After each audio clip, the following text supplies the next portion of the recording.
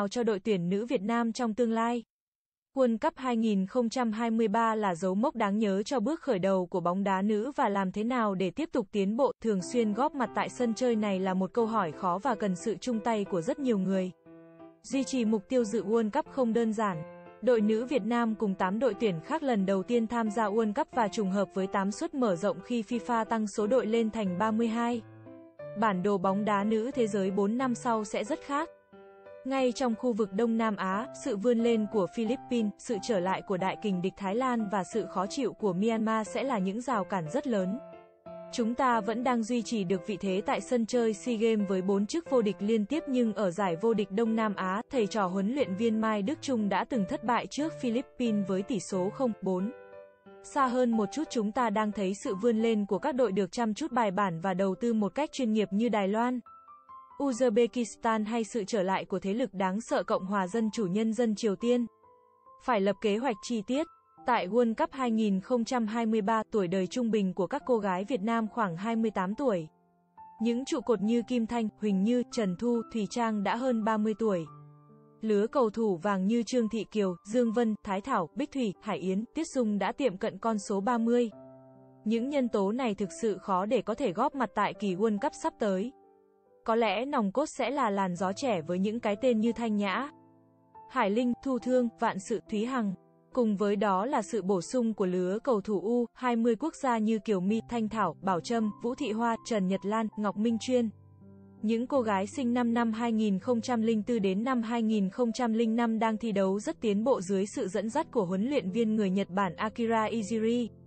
U20 Việt Nam đã thi đấu thành công và góp mặt tại vòng chung kết U20 châu Á năm 2024. Đặc biệt trong trận đấu tranh ngôi vị nhất nhì vòng loại của bảng A, các cầu thủ trẻ Việt Nam đã chơi rất ngoan cường và chỉ chịu thất bại một cách khá đáng tiếc trước U20 Úc, một thế lực của bóng đá nữ châu Á. Đó thực sự là một lứa cầu thủ tiềm năng của bóng đá nữ Việt Nam, nhưng để đạt được trình độ và đẳng cấp của thế hệ đi trước là một điều không dễ dàng. Lứa cầu thủ Huỳnh như Tiết Dung Trương Thị Kiều Kim Thanh thực sự là thế hệ kim cương mà sau rất nhiều năm bóng đá Việt Nam mới có được. Và bản thân lứa cầu thủ này cũng từng vấp ngã khá nhiều trước khi có được thành công như hôm nay. Điều Liên đoàn bóng đá Việt Nam VFF cần làm lúc này là đánh giá lại thực trạng của đội tuyển. Quy hoạch lại toàn bộ lực lượng nhân sự, có những chiến lược đào tạo cài dần những nhân tố trẻ vào đội hình chính trước khi nghĩ đến việc chuyển giao thế hệ. Nó cũng giống như cách huấn luyện viên Mai Đức Trung sử dụng Hải Linh Thanh Nhã Thu Thương. Và không chỉ các cầu thủ, thành phần BHL, đặc biệt vị trí huấn luyện viên trưởng cũng cần phải tìm kiếm và giao trọng trách này trong thời gian tới. Huấn luyện viên Mai Đức Trung đã lớn tuổi và cũng đã hoàn thành sứ mệnh lịch sử của mình. Vị thuyền trưởng mới có thể trẻ hơn nhưng cần phải có tâm và đặc biệt phải có tầm vượt trội để dẫn dắt nữ Việt Nam trong giai đoạn phát triển mới. Nhìn vào thành công của đội tuyển nữ Nhật Bản cũng như mối quan hệ khăng khít giữa VFF và Hiệp hội bóng đá Nhật Bản JFA, chúng ta hoàn toàn có thể tìm thấy được nhà cầm quân chất lượng. Ngay tháng 9 năm 2023 chúng ta đã bước vào hành trình mới tại ASEAN 19.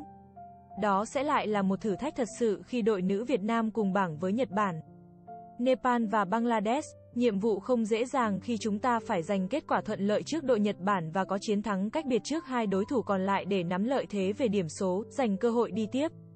Đúng là khoảng thời gian 4 năm để đến với World Cup 2027 còn khá dài. Chúng ta cần những chiến lược cụ thể, những kế hoạch dài hạn và ngắn hạn. Nếu không được xây dựng một cách chi tiết tỉ mỉ, đặc biệt là chúng ta không thực sự chuyển mình từ hôm nay, rất có thể chúng ta sẽ phải quay lại điểm xuất phát ban đầu. Và lúc đó giấc mơ World Cup lại xa xôi như nhiều năm về trước. Cảm ơn các bạn đã theo dõi kênh bóng đá 24 giờ New. Đừng quên đăng ký kênh và bật chuông để nhận những tin tức mới nhất nhé các bạn.